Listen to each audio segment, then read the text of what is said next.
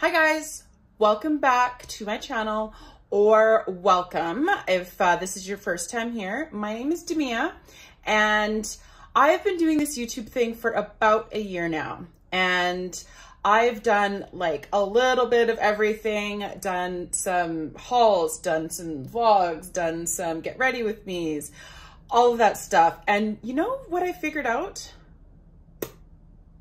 I figured out that I really just like giving advice.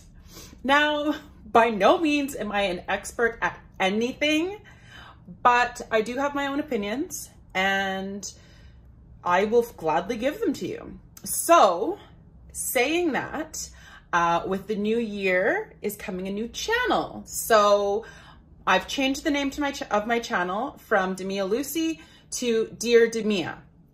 So what does that mean? So that means that I am now going to be doing uh, hauls, I'm going to be doing how-tos, and most importantly, I'm going to be giving you advice.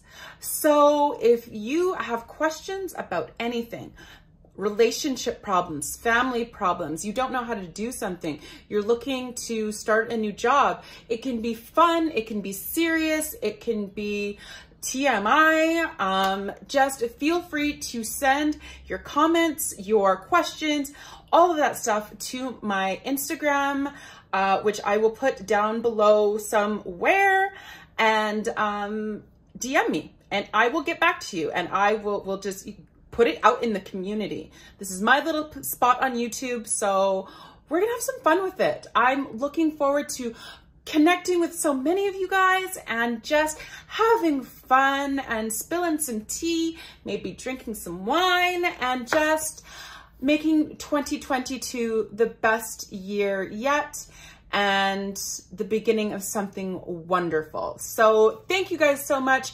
If you haven't subscribed to my channel yet, please, please, please, please go do that right now.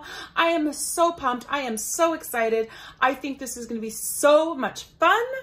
Um, yeah, so that's all I got.